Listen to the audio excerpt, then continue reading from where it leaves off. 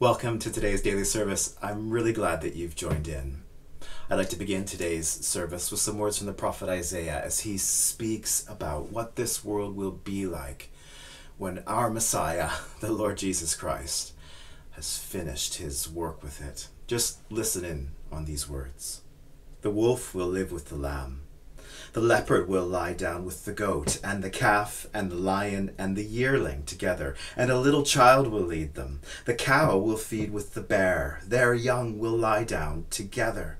And the lion will eat straw like the ox. The infant will play near the cobra's den, and the young child will put its hand even into the viper's nest, and they will neither harm nor destroy on all my holy mountain, for the earth will be filled with the knowledge of the Lord as the waters cover the sea.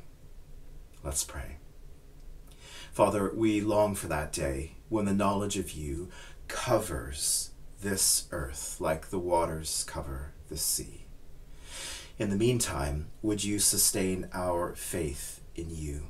We see a day ahead when you will bring complete peace throughout your creation because of what the Lord Jesus Christ has done, is doing, and will do.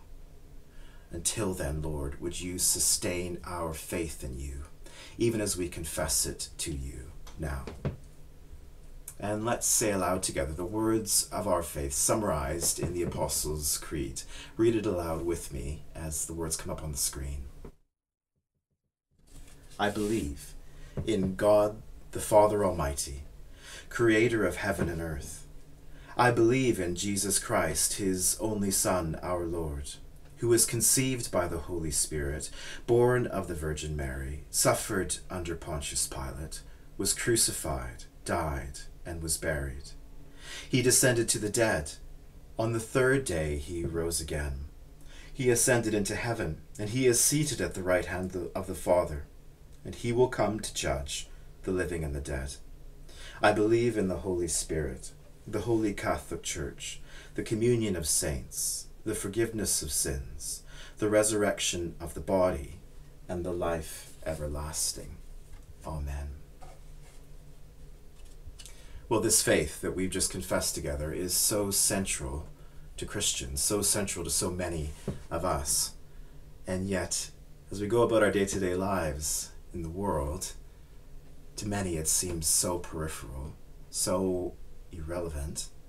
When I go to the bank and talk about my finances, I don't say, Andrew, have you considered your spending in relation to the fact that Jesus is king and that he's coming again? When I go to the doctor, they don't uh, talk to me about my body as if the resurrection of the body is a real thing. when my kids go to their schools, thankfully sometimes they do hear about Jesus and hear about many other faiths, and I'm I'm glad for that. But the impression isn't often given that the truth that we've just confessed is the most important story, the truest truth, the greatest story that the world has ever heard. How do we reconcile the centrality of our faith to us to its being considered peripheral at best out in the world, being considered so small, so insignificant, the last thing we might turn to at a time of great trial? Jesus told two stories, which we'll look at just with these a few minutes today, which address this uh, this tension, which of course his first disciples felt very much too. They were expecting a messianic king that would come and set up a kingdom that would uh, rule over the Romans, defeat all their enemies, and and be seen by all to be their great Messiah. Jesus didn't come that way. His story didn't play out that way, and he knew it wouldn't and he told two stories to help them understand why. Matthew chapter 13, beginning at verse 31. Just listen to them with me. He told them another parable. The kingdom of heaven is like a mustard seed which a man took and planted in his field. Though it is the smallest of all seeds, yet when it grows, it is the largest of garden plants and becomes a tree, so that the birds come and perch in its branches. And the kingdom of heaven, he told them still another parable, the kingdom of heaven is like yeast that a woman took and mixed into about 30 kilograms of flour until it worked all through the dough. Two simple stories which make very similar point. The first, the story of the mustard seed. Even if people knew then that it wasn't technically the smallest of all seeds, but it was the most commonly used uh, small seed in the day to day life of the time. And so rabbis would often use the mustard seed as an example of something very, very small which grew to become very big in their teaching. And Jesus does so here. He says, My kingdom is like this. It may look very insignificant and small, irrelevant now, but it is on a trajectory of growth. And it's going to grow to such a great point, a great tree. At that time, the little mustard seed could grow into a tree up to 8 or 12 feet tall, totally out of proportion to its beginnings.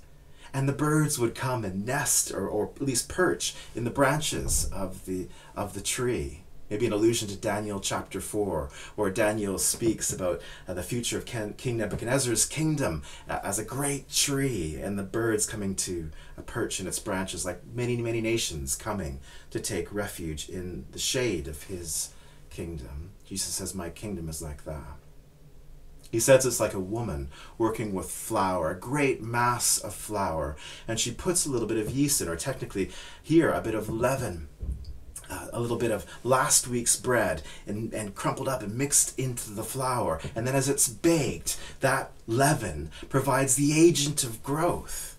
Jesus says, My kingdom's like that small, seemingly insignificant, but when scattered throughout this world, it's actually the change agent that's bringing this world to the purposes for which it was designed. You think my kingdom's small, Jesus said. You think it looks petty, tiny, insignificant. You just wait. This thing's on the move. It's growing. It's going somewhere to the point where it will one day grow, where all will acknowledge the significance of my kingdom. Will you join in with me?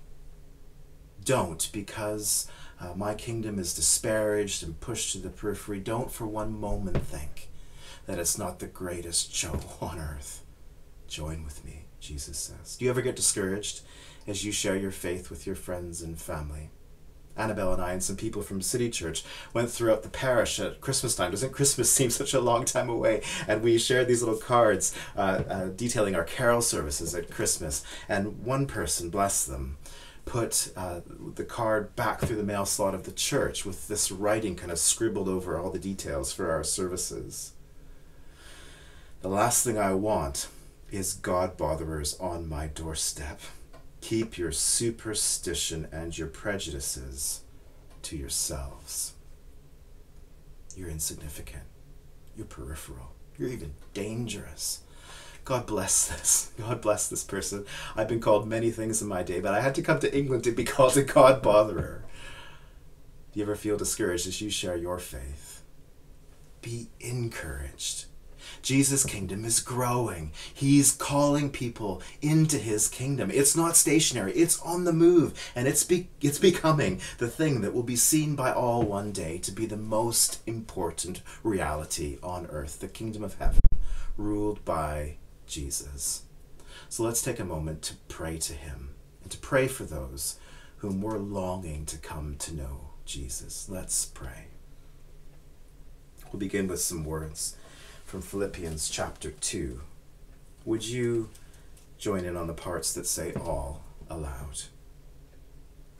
In your relationships with one another, have the same mindset as Christ Jesus, who, being in very nature God, did not consider equality with God something to be used to his own advantage.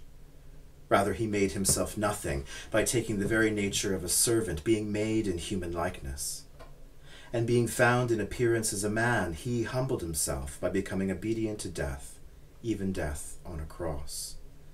Therefore God exalted him to the highest place and gave him the name that is above every name, that at the name of Jesus every knee should bow in heaven and on earth and under the earth, and every tongue confess that Jesus Christ is Lord, to the glory of God the Father. Father, we do pause to uh, remember some of those in our lives whom we are longing to come to know Jesus Christ as Lord. We want them to bow the knee to you and to confess your Lordship now. and we name them in our hearts before you. We pray for our children and our young people. We ask that they would know Jesus Christ as Lord, that the faith that has become so central to so many of us would become their own, that they would embrace it and see the reality of Jesus now and give their lives and their futures to Him. Please, may you guard and protect them as they head into a new school year soon. But most of all, we're asking that they would grow in the knowledge of you, Lord. And we'll close our prayers with the Lord's Prayer, aloud together. Our Father in heaven, hallowed be your name. Your kingdom come, your will be done on earth as in heaven. Give us today our daily bread. Forgive us our sins as we forgive those who've sinned against us. Lead us not into temptation, but deliver us from evil. For the kingdom, the power, and the glory are yours, now and forever. Amen. Well, let's sing together. Let your kingdom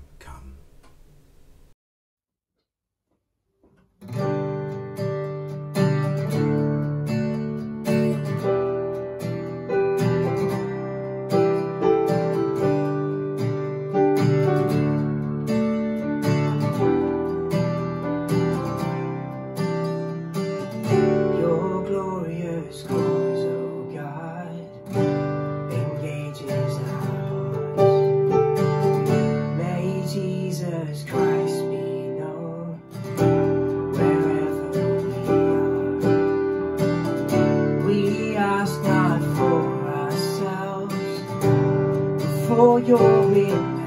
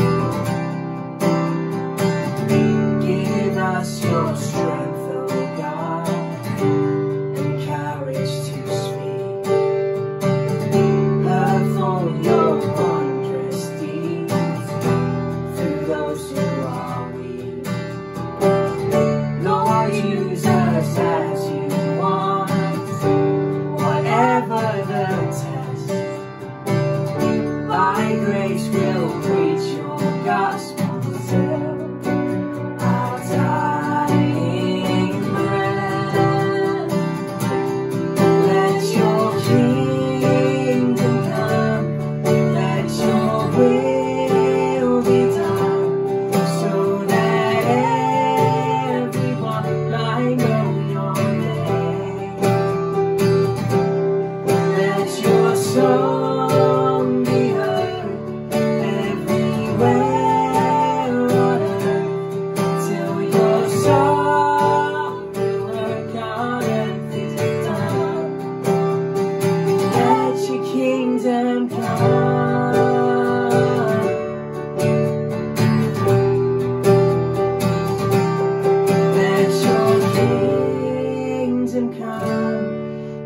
your way.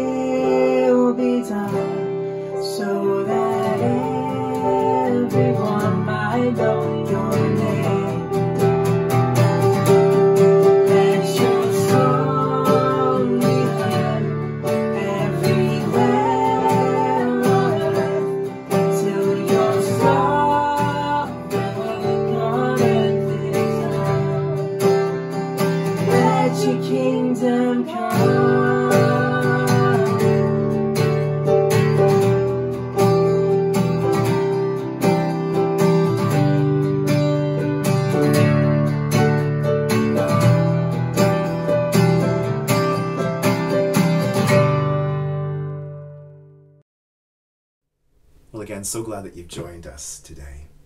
May the Lord bless you and keep you. May the Lord make his face to shine upon you and be gracious to you. May the Lord turn his face towards you and give you peace. Amen.